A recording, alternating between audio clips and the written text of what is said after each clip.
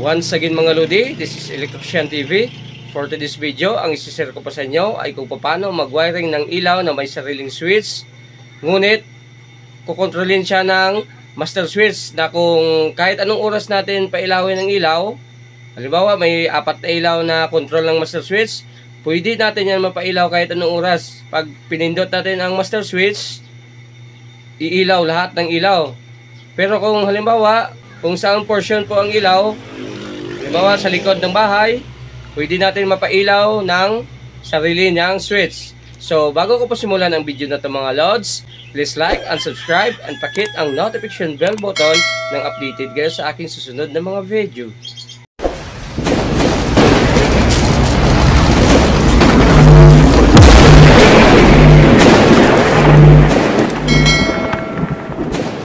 So ayan mga lods, ito po ang schematic diagram na i-wiring natin ngayon. Dito tayo lahat magbabase kung paano natin i-wiring.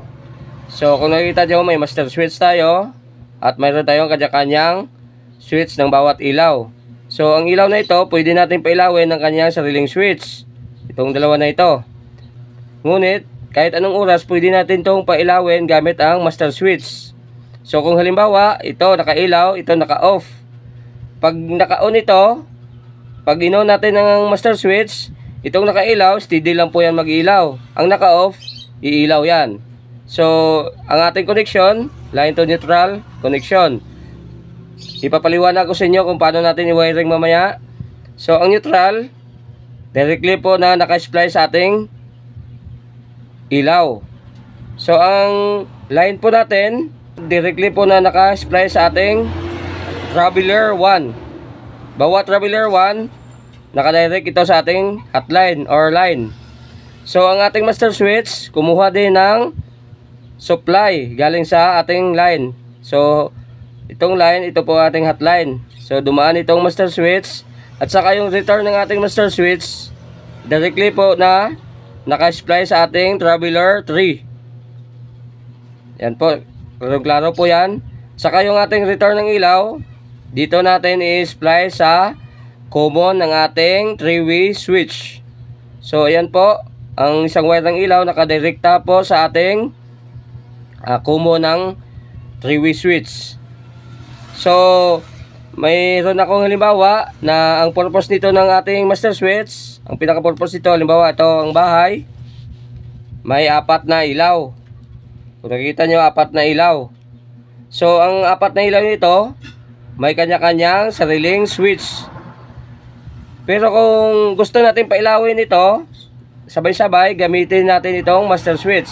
Halimbawa, may nagnakaw at gusto natin makita kung saan siya nakapisto at para makilala natin, ito pong pinaka-purpose ng master switch. So, pag pinindot natin itong master switch, sabay-sabay itong iilaw.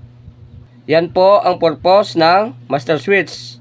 So, kung halimbawa, dito lang tayo banda na gustong natin ng liwanag ng ilaw ito lang nating i-on. Pwede natin yan i-on sa kanyang sariling switch. So ito po ang pinaka purpose ng ating master switch. So kung naintindihan ninyo ang aking paliwanag magsisimula na po tayo sa pag-wiring so ayan mga loads mayroon ng mga ilaw na nakaabang. I-wire lang natin. So ito po ang dalawang wire ng ilaw. At saka ito naman ang wire ng dalawang ilaw sa kabila. So ito ang wire na papunta sa switch. Kailangan natin ng 3 wires. Kasi 3 way ang ating ginamit sa individual na ilaw. Sa kabila ganun din, 3 wires. So ang common natin dito is puro itim. So ang puti, gawin natin tong traveler 1. So ang may blue, ito po ang traveler 3. So, ganun din sa kabila, mayroon tayong tagging, yung blue, Traveler 3. So, ang common natin, ito ang black. Saka ito, Traveler 1. So, ito ating supply, dalawang wire, ito ating hotline, ito ating neutral. So, ito ang ating master switch. May dalawang wire din. So, magsimula na tayo sa pagwa-wiring. So, unahin natin itong galing sa breaker, ito ating supply. Unahin natin ang neutral. Kung nakikita nyo dito sa ating schematic, yung neutral, directly po na iwawire natin sa ilaw. So, sundin natin ito. Ito po. Ito po ang neutral. Direct sa ating ilaw.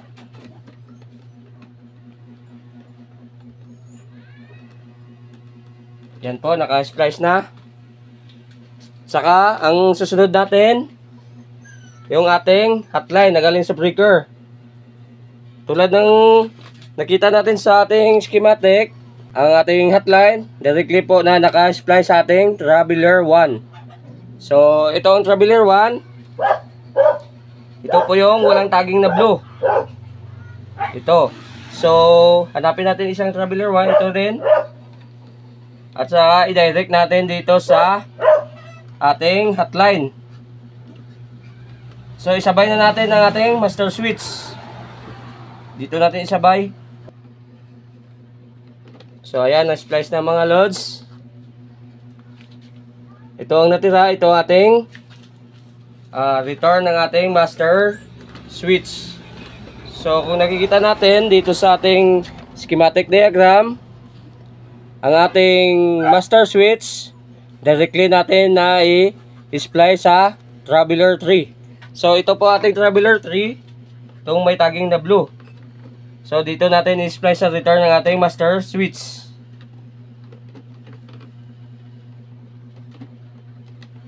So ayan mga lods, naka-splice na po. So ang natira, yung common ng ating switch na 3-way. So ang common natin, nakita natin dito sa ating schematic, yung common, dito po, i-splice natin sa return ng ating ilaw.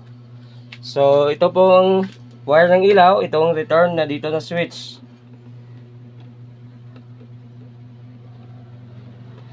Saka itong isang common sa kabilang switch.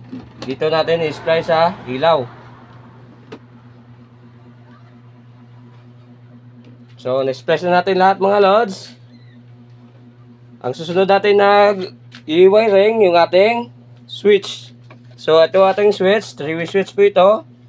Hanapin lang natin ang common. So, itong common, ito ang Traveler 1. Ito ang Traveler 3. So, ang common, hanapin natin ito ang common, itong item. So, ang Traveler 1, ito po yung white. Saka itong Traveler 3, dito natin ilalagay. So ayan na mga lods, naka-splice na or naka-connecta na sa ating switch. Ganun din sa kabila. Yung common, ito po yung common, dito natin ilalagay sa common sa 0. Saka yung Traveler 3 dito.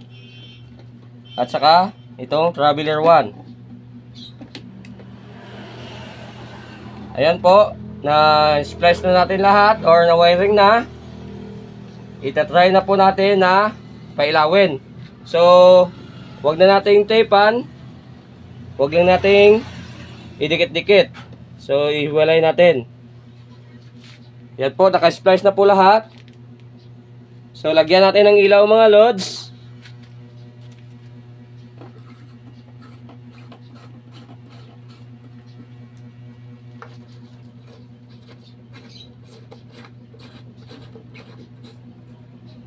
So ayan, nalagyan na natin ng ilaw. Double check lang tayo. Yung ating neutral, directly na na-spray sa ilaw. Yung ating hotline. Pumasok dito sa ating master switch. At saka pumunta sa ating Traveler 1. Saka itong return ng ating master switch. Dito, dumirekta sa ating Traveler 3. At saka yung common natin na galing sa switch, dito po naka-splice sa ating ilaw. So, ayan po. Wala namang short circuit or walang mali sa ating ginawa. Sinunod natin ang ating schematic diagram. So, supplyan na natin. Yan po, may supply na. I-on natin. Kung halimbawa, na tapat po na naka-on ang breaker, ilaw itong dalawa. So, walang umilaw kasi hindi nakatapat na na-on itong ating splice. So, iyon natin isang ilaw. Ayan, umilaw po mga lods. I-on natin yung isa. Yan, nakailaw mga lods. So, kahit i-off natin, i-off natin itong dalawang ilaw. I-on natin sa ating master switch. So, umilaw po ang dalawang mga lods. So, i-off natin ang master switch. Pailawin natin itong isa. I-on natin ang master switch, iilaw ito.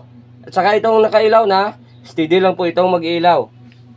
So, ayan po mga lods. I-off natin itong isa.